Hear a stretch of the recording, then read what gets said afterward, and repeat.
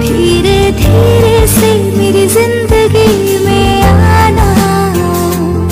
धीरे धीरे से दिल चुराना तुमसे प्यार हमें है कितना जाने जाना। तुमसे मिलकर तुमको है बताना।